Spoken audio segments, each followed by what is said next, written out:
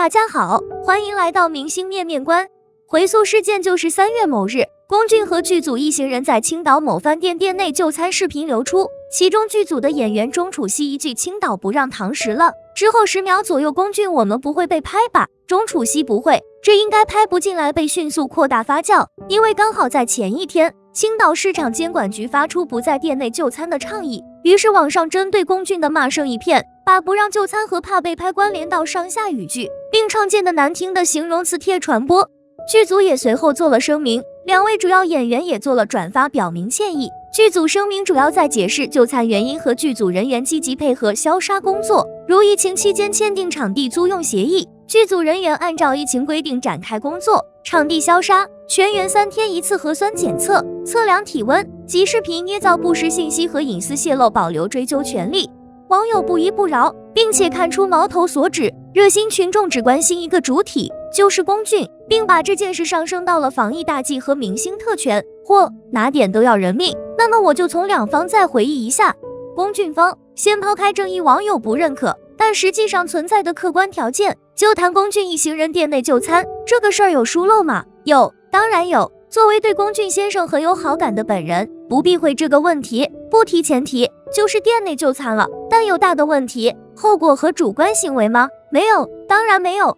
青岛这个美丽的海滨城市有千万人口吧？是否城市完全停滞了？在倡议的第二天，全市的店面是否都关闭了？是否明确贴出不可以店内就餐的告示？是否能立刻马上做到全员立刻停业？全市可以流动的人口是否没有一位在店内用餐？这必然是个统一，但有时间差，甚至有个别为了生活隐瞒的商人。所以监管人员肯定也付出非常大的精力和辛苦。比如我们封闭小区时候，要求立刻封闭园区便利店，我们都要求再开一会，卖到我再关门，不是吗？当然，我们是公众人物，是神，不能容错，要提高自身要求，就不能谈这些实地一些客观情况了，就谈本身。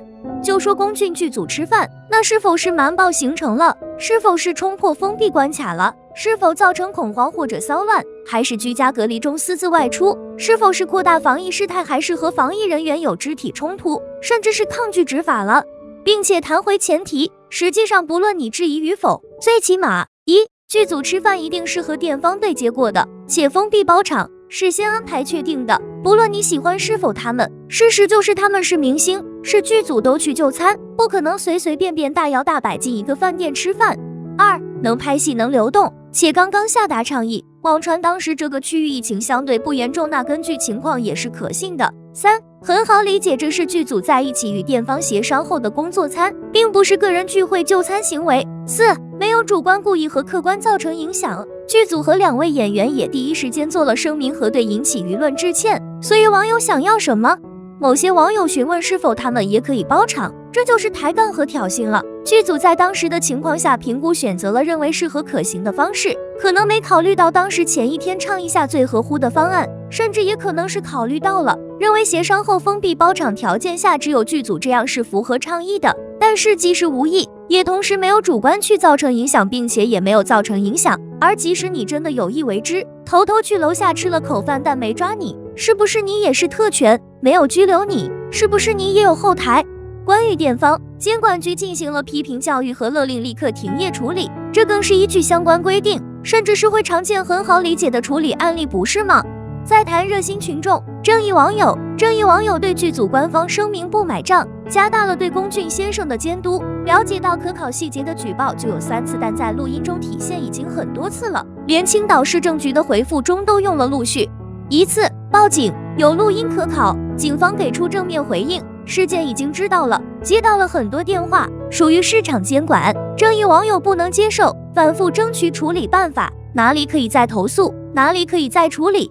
一次市场监管局短信回复，但热心群众的追问就是不用拘留吗？希望别人被拘留也要了解基本执法流程，不能蓄意抹黑执法工作啊，起码过程事事劝离、警告、罚款。拘留，而且也得是情节。一次是长达三十多分钟的录音，热心群众转发录音到平台，拿来当攻击龚俊违法乱纪的证据。一些网友在拍手称快。至此，网友都成了道德的楷模，都成了上课不会迟到一秒钟的好学生，都是核酸检测会一定会间隔一米标准的抗疫好公民。但我听取了录音，倒是十分乐意让大家一起了解事件情况。监管人员有理有据，依法不耐其烦给出的解答，给出处理意见，而举报人明显不接受结果，寻求引导录音证明举报人确实有较高的语言水平，不断质疑处罚，引导带节奏。公众人物接受监督肯定是没错的，但不是接受刻意安排的无休止的狙击。不但这样，网友还质疑起青岛方面某微博官媒在官博下频频发出疑问，并通话和监管人员沟通的时候提出疑问和如何投诉。哦，大无语！国家赋予我们的真是太多了，拿出对公俊的万亿认真，我们将攻无不克。法律是守护我们的基石，不是想当然的网友的主观臆断。监管更不是胡乱执法的流氓，而且监管人员也清楚说明不让店内就餐是倡议。倡议是什么？我不需要拿它堵你着急找不到打击公俊问题的嘴。我要说的倡议，并不只是你们想诋毁不成的文书，相反，它是政府对百姓的爱护，是执法的适度和温度。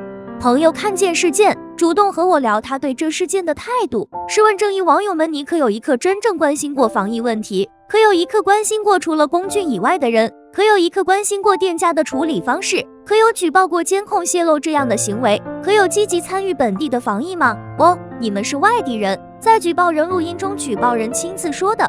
纵观事件，正义网友才其心可诛，一次次宁可质疑青岛监管不力，也要给龚俊安一个违法乱纪，安一个特权的名声，真是居心叵测。这个事件，正义网友才是最浪费社会资源的人们。既然正义网友知道当时的防疫是大问题，在已经有处理的结果下，还几次三番的打电话上网投诉举报，难道不是在浪费警力，不是在浪费监管人力？你们不会真的觉得那么繁重的疫情之下，警察还能好好休息吧？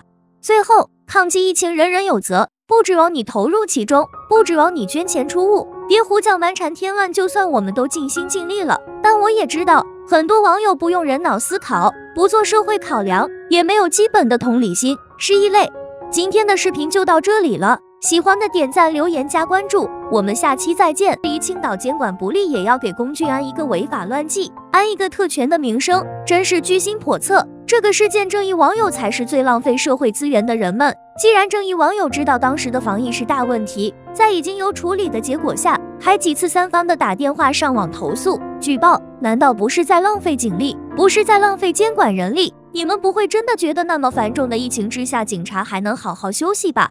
最后，抗击疫情人人有责，不指望你投入其中，不指望你捐钱出物，别胡搅蛮缠添乱。就算我们都尽心尽力了，但我也知道，很多网友不用人脑思考，不做社会考量，也没有基本的同理心，是异类。